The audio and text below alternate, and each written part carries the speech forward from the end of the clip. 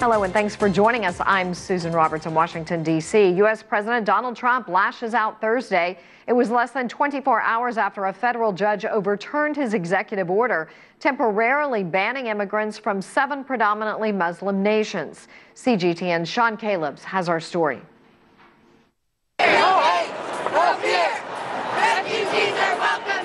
Another day, another fresh round of protests directed at U.S. President Donald Trump. In Washington, D.C., and many other cities, legions of demonstrators continue to rail against the administration.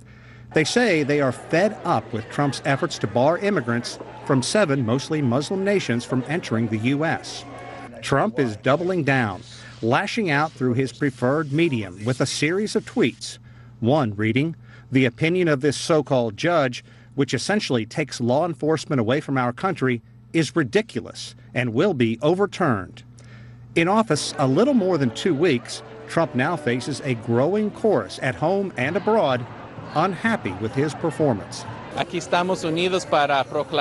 We are here united to proclaim that we are all Americans. We are here in unity, in solidarity with the Muslim community, saying we are with them.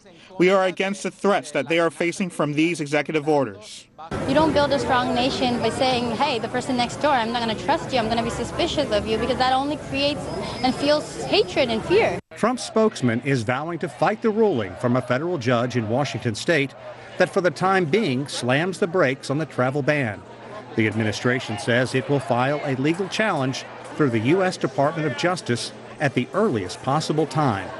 Trump's first couple of weeks in office have been characterized by dropping poll numbers and legal action. Already, Trump faces 55 lawsuits filed against his actions, more than 10 times greater than the average of the last three U.S. presidents. Like. In the meantime, the number of U.S. protests from coast to coast shows no sign of abating. The U.S. State Department had revoked some 60,000 visas from abroad since Trump instituted the travel ban on January 27th. But for the time being, it is back to travel as usual, with the U.S. Department of Homeland Security saying it has halted any and all actions related to the travel ban. Sean Caleb, CGTN, in Washington. President Trump is at his resort in southern Florida. An anti Trump march is taking place in the nearby city of West Palm Beach. CGTN's Nitza Soledad Perez is in the thick of things. Nitza, has there been a big turnout for this protest near Donald Trump's weekend retreat?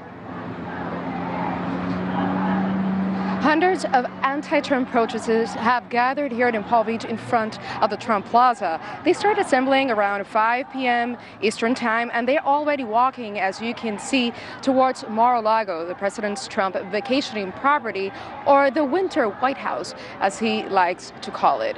Uh, protesters are mostly chanting "No ban, no wall," but it seems that all causes against Trump's policies have gathered here this afternoon. Since I got to this area, I've been reading signs uh, defending climate change, proclaiming women's rights, even asking for uh, President Trump's impeachment.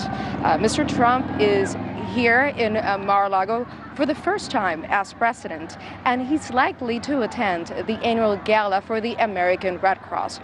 Interestingly enough, this organization, the American Red Cross, is offering relief to those affected by Trump's moratorium on the U.S. refugee program. Susan? Nitza, has there been any reaction from Donald Trump, even on Twitter?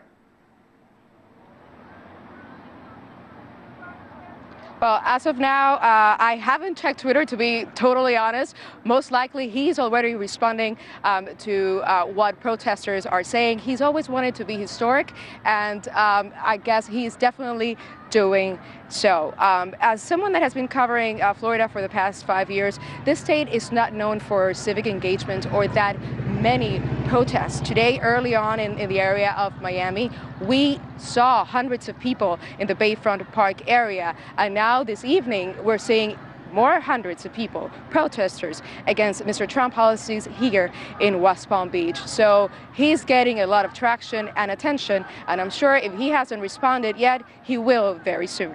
Susan. Nitza Soledad Perez, live in West Palm Beach, Florida. Nita, thank you. In London, mass rallies against the Trump travel ban. Not only are they angry with President Trump, they're also angry with UK Prime Minister Theresa May. CGTN's Richard Bestic has our story.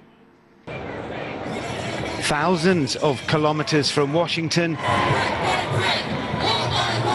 And the intensity of feeling that surrounds US President Donald Trump's seven nation travel ban shows no sign of letting up the streets of London again choked by those protesting Trump's executive order.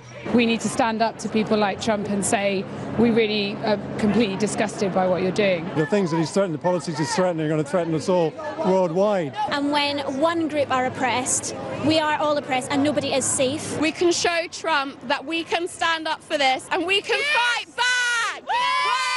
The protest follows a European Union summit in Malta, where UK Prime Minister Theresa May offered to act as a bridge to the Trump administration. Her efforts firmly rejected by the other 27 EU presidents and prime ministers. She returned to London only to find anti-Trump protests on the streets of her capital.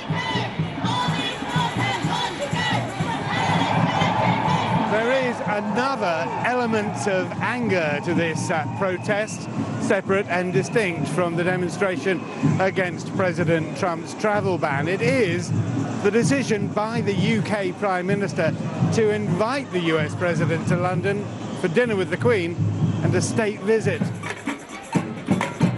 Protesters called on Prime Minister May to withdraw her controversial invitation to President Trump, something the UK leader has so far refused to do.